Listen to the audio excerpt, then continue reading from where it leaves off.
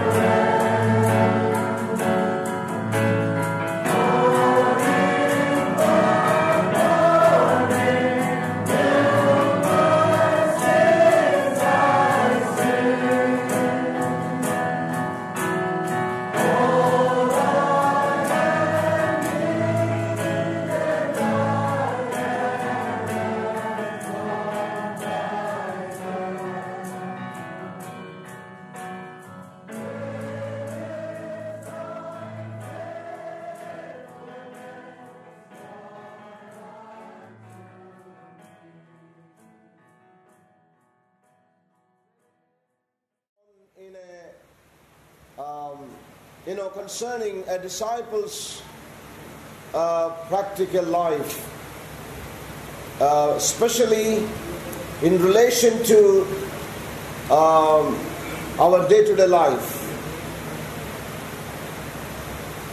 One of the things we read um, in the book of Ephesians, maybe you can just turn with me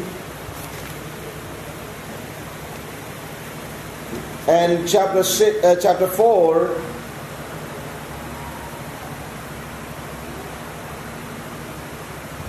I therefore, the prisoner of the Lord, beseech you that ye walk worthy of the vocation wherewith ye are called.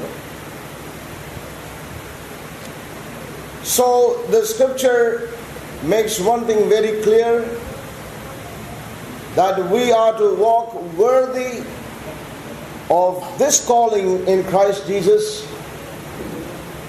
uh, in our day to day life. And as we flip the pages of Ephesians, we see immediately after that the Apostle Paul is guided by the Spirit to bring in every aspect of a believer's life. He immediately after that speaks about uh, the fivefold ministry, the local church, how we ought to be corrected in our lives. And in chapter 4, he goes on to say how, as individuals, our personal walk every day, our speech, our uh, occupation, you know, he touches almost everything in chapter 4. And then in chapter 5, he deals with uh, several other aspects of family life, husband and fi- wife relationship, um, you know, how they ought to be uh, loving and submitting to one another. You know, and as we turn on to chapter 6, he speaks about children obey your parents. And in uh, verse 4 he says, Fathers, provoke not your children. So, in other words, Paul says, this call of God will touch every aspect of our life. In other words, every relationship it touches. Beginning with the church, the ministries, brothers and sisters. So, when you get time, maybe you can read it. It will be very good. In this light, to read the book of Ephesians 4, 5, and 6. Okay, please do that. And you know that a good student always does the homework. You know, and if you don't want to do it, you see what exam you are going to write. And you know for yourself. We have been all hearing about exams in the morning. Today morning, last night, and um, yesterday morning, and so uh, it's very important. And then, then he goes on to talk about servants. You know, uh, talking about our work in our offices. You know, it's not that the Bible doesn't speak about how we ought to be in our offices. If you are students, how you ought to be in your place of study. You know, if you're working, that, that means servants. In that bracket, we all come in that bracket. You know, how we ought to be. Uh, so, I'm not getting into the details. We read here very clearly that this calling, it touches every aspect of our life. And not only that, it touches every relationship. So it's a vast subject. We will not be able to just handle it just one afternoon or two afternoons. Okay.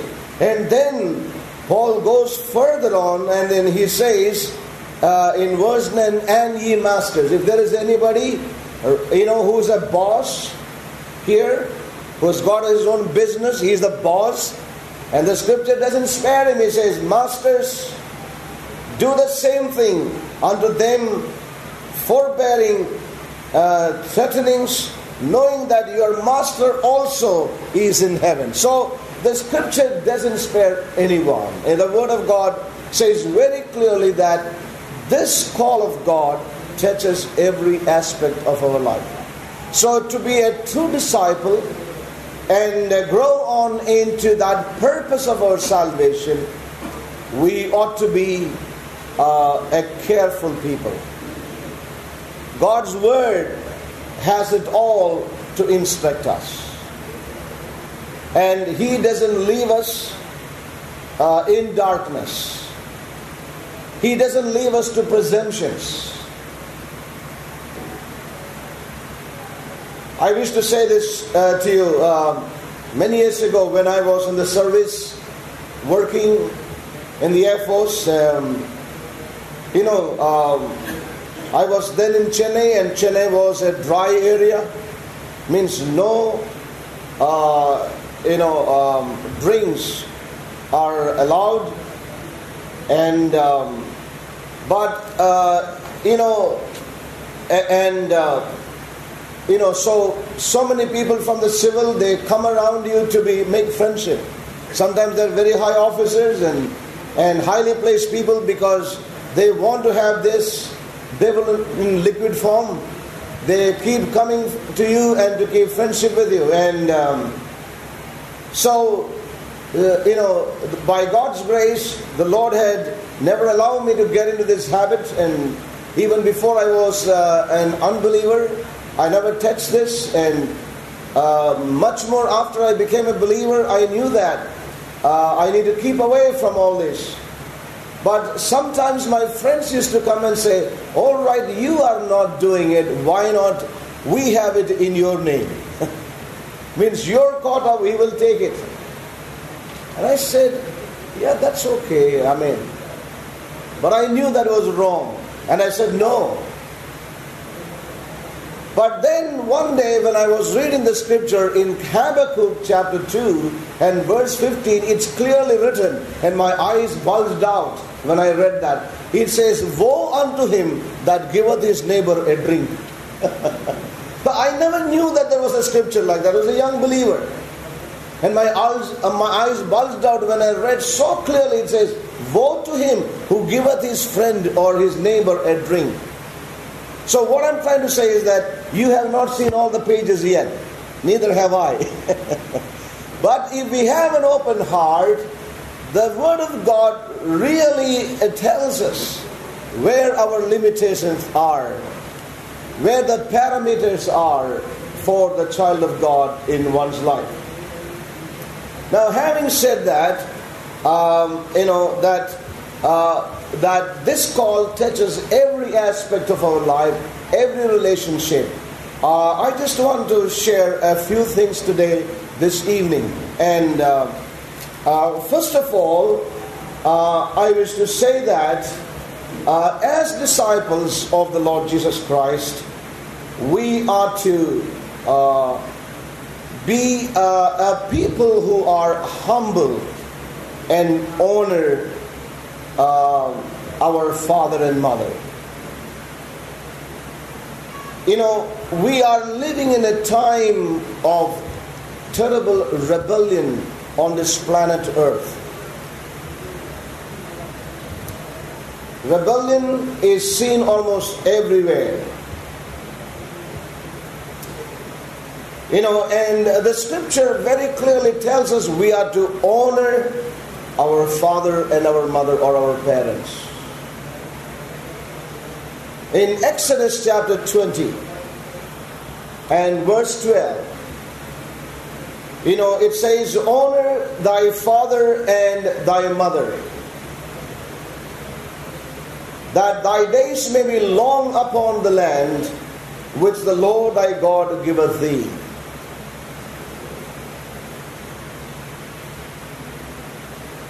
So the scripture doesn't say whether, you know, whether our parents are believers or unbelievers.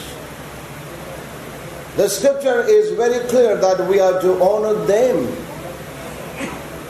Now, to what measure we are to honor them? What are the limitations? You know, in honoring them, these things the Holy Spirit will help us to know and understand in our situations. But this is God's word, and we as His disciples must humble ourselves. That is the real mark of a true disciple humility. Humility is the precious mark of a disciple. We are humble enough to honor others, and especially it begins with our own parents. We also read in Leviticus chapter 19 and verse 3 He shall fear every man his mother and his father and keep my Sabbaths. I am the Lord your God. Again, we have um, a scripture in Deuteronomy uh, chapter 27 and verse 16. It says, Cursed be he that setteth light by his father and his mother, and all the people shall say, Amen. There are several scriptures. We can turn to Proverbs.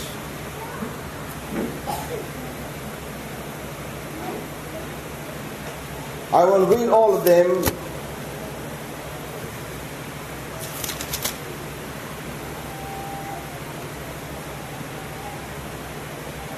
My son, hear the instruction of thy father, and forsake not the law of thy mother. You know, there are several scriptures. And there's another scripture in Proverbs again. As I said, I won't touch all the verses, but just a few.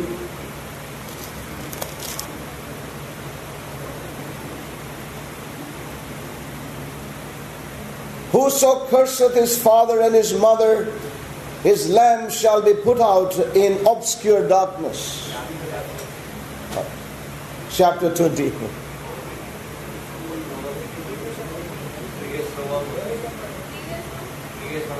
I didn't tell the chapter, chapter 1.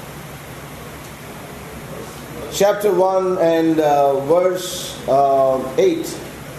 And this is Proverbs chapter 20 and verse 20.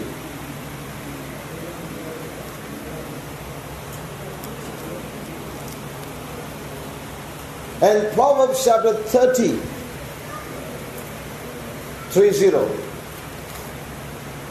And verse 17 The eye that mocketh at his father, and despiseth to obey his mother, the ravens of the valley shall pick it out, and the young eagles shall eat it. It's a strong word. So the scripture is very clear that we, we are to honor our parents as the disciples of the Lord. And what did the Lord say? Turn with me to Matthew 15.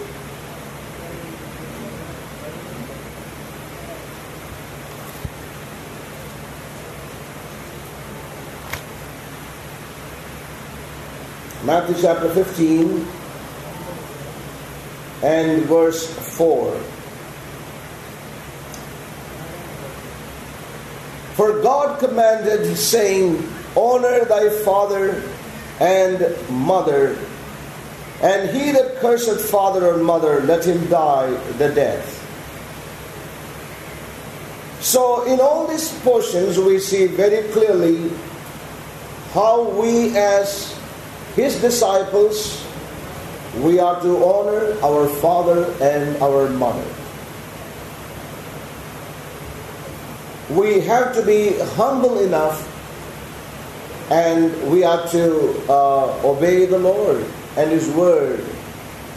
And then the Apostle Paul, he makes it very clear by the Holy Spirit, and that gives us a further um, understanding about this and it draws the parameters and the limitations of it.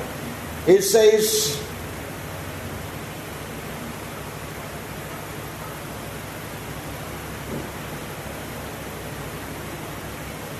Honor thy, thy father and mother, which is the first commandment, and uh, with promise that it may be well with thee, that thou mayest live long on the earth. So now the question is that in what measure we need to honor them. You know, for a child of God, when he comes to salvation, when a person comes to Jesus Christ and uh, he becomes a disciple of the Lord, the highest priority in his life is Christ Himself. So, our honoring our parents cannot go above Christ. That is the way we need to strike the balance in any relationship for that matter. Any relationship. The first priority is Christ.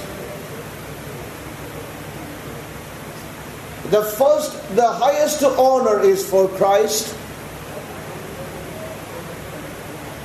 And that is how we have to maintain our honor towards our parents. So, uh, you know, the Holy Spirit, who is our teacher and helper, and as we know that He is the Spirit of truth, He will come to us and help us in this aspect, and we cannot lay down any laws about it in other words, it is the spirit of law in Christ Jesus. You know, the spirit of uh, the law of life in Christ Jesus, wherein the Holy Spirit will help us to know. And that's all I can say about it because as our faces are different, so are our situations. So are our family situations. So are our parents one from the other. One's parents will be one way, the other family parents will be the other way. But the best way to put things in the right order is come to the right priority, Christ first, and every other relationship after that. So we are not to prefer, you know, we are not to prefer uh, our parents above Christ. The highest priority and honor goes to the Lord Himself. You know, so um, that's that's very important for us. And as I said, let there be um, no mistake. Let there be no jumbling up there. The Holy Spirit will help us to draw clear lines when we are open to the Spirit of God. And if there are specific situations, seek for uh, help and counsel of those who can really guide us through those situations when it comes to this matter. Uh, that's one thing, first of all, I want to share with us. Secondly, um, there's one more scripture I can say. The Lord said, uh, if you hate not your father and your mother, just turn with us to Luke. Uh, we can just see that in conjunction with this. The book of Luke, chapter 14.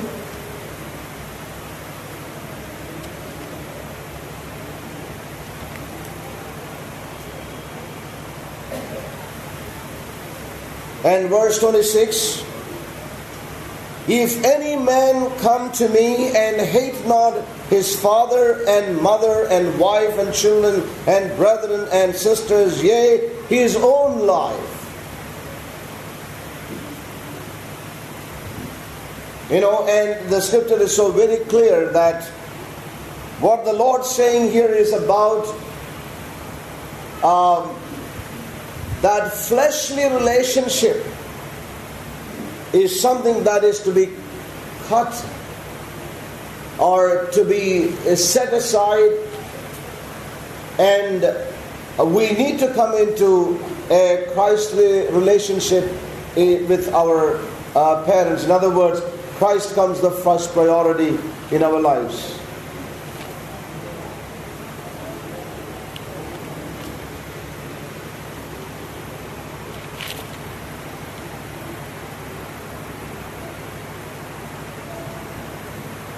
It's almost the same translation here. Okay, so we see that the Lord Himself said it's not talking about that we are not to honor our parents, we are not to love them. That's not what the scripture says, but that fleshly relationship wherein our parents would tell us and uh, want us to do things out of their fleshly relationship and deny us the way of the Lord or do not want us to walk the way of the Lord, then we need to uh, hate them or that fleshly relationship has to be set aside and prefer the Lord. And I'm sure the Holy Spirit will help us in our lives. And we see how the Lord Himself demonstrated that when His own mother and brothers and sisters came to meet Him, He said, Who is my mother? Who is my brothers and sisters? They who do the will of the Father, they are the ones. But that doesn't mean that he did not regard his mother, honor. Right on the cross, at those points and moments of death, he said to John, Your mother, behold your mother. He was so concerned about her even in those moments. So I'm sure that the Holy Spirit would really help us, who is our teacher, who will guide us and teach us all the truth concerning our limitations and uh, where we need to have the restraints, where we need to, uh, uh, you know, seek for our help in our lives. And as I said, where there is a need for you, always seek the help, and uh, others will be able to help you who are mature in the Lord and walking this way. Secondly, uh, having shared about humility and honoring